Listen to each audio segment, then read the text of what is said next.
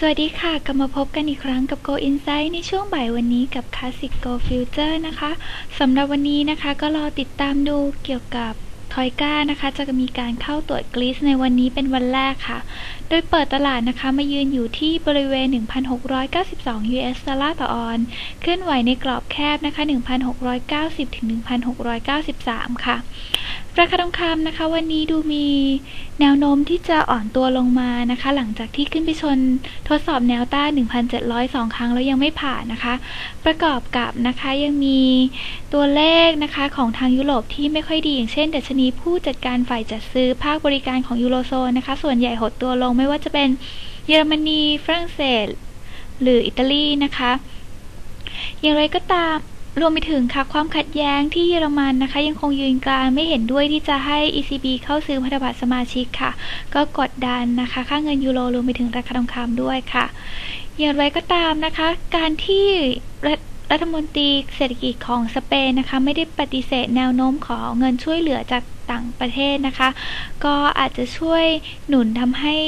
ตลาดนะคะดูดีได้ค่ะ แต่ก็ยังไม่ชัดเจนมากนักนะคะอย่างไรก็ตามค่ะในคืนนี้ก็รอดูนะคะว่าจะมีผลของทอยก้าในการเข้าตรวจกรีซอย่างไรบ้างนะคะ สำหรับในคืนวันนี้มีตัวเลขเศรษฐกิจได้แก่ตัวเลขประมาณการประสิทธิภาพการผลิตรวมไปถึงต้นทุนแรงงานต่อหน่วยนะคะ ประกาศออกมาค่ะ ถ้าเราลองมองดูจากภาพกราฟทางเทคนิคในรายหนึ่งชั่วโมงนะคะ ก็อย่างที่บอกนะคะว่าช่วงนี้นะคะหลังจากที่ราคาทองคำปรับตัวขึ้นแรงนะคะ ก็ต้องสังเกตการปรับขึ้นลงของราคาทองคำให้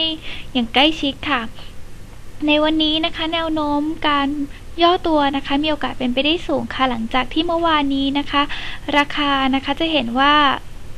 ภาพของ Candle Stick นะคะ เกิดภาพโดจิขึ้นมา อาจจะมีการกลับทิศของราคาทองคำได้นะคะ แต่อย่างไรก็ตามค่ะ ราคาทองคำยังมีฐานรับสำคัญที่บริเวณ 1,675 นะคะ หรือ 1,660 ค่ะ ซึ่งถ้าไม่หลุดบริเวณดังกล่าวนี้นะคะ ก็มีโอกาสที่จะกลับขึ้นไปทดสอบบริเวณ 1,700 หรือที่สูงกว่าบริเวณ 1,715 1,725 อีกครั้งหนึ่งนะคะ ตามเป้าหมายที่ตั้งไว้ก่อนหน้าค่ะ แต่โซนของการปรับตัวขึ้นเหนือบริเวณ 1,700 เป็นโซนอันตรายแล้วนะคะ เนื่องจากสัญญาณเดเวอร์เจนได้มีการเกิดขึ้นแล้ว ระหว่างราคาแล้วก็ RSI นะคะ ดังนั้นการปรับตัวสูงขึ้นในสัปดาห์นี้มีโอกาสที่จะทิ้งตัวลงมาได้เสมอนะคะ รอดูการแกว่งตัวในวันนี้ก่อนแล้วกันนะคะว่าวันนี้สามารถรับอยู่ที่บริเวณ 1,675 1,660 ได้หรือไม่นะคะ ถ้ารับได้ก็รอ การีบาวปรับตัวสูงขึ้นอีกครั้งหนึ่งก่อนนะคะ แนวรับแนวต้านนะคะ แนวต้าน 1,695 1,705 นะคะสำหรับแนวรับ 1,680 1,670 ค่ะก็รอดูนะคะ ถ้าไม่หลุด 1,670 ประมาณนี้นะคะ ก็ทยอยสะสม ซื้อได้เพื่อทำกำไรระยะสั้นที่บริเวณ 1,700 อีกครั้งหนึ่งนะคะสำหรับการวิเคราะห์ราคาทองคำในวันนี้จบลงเพียงเท่านี้ค่ะ สวัสดีค่ะ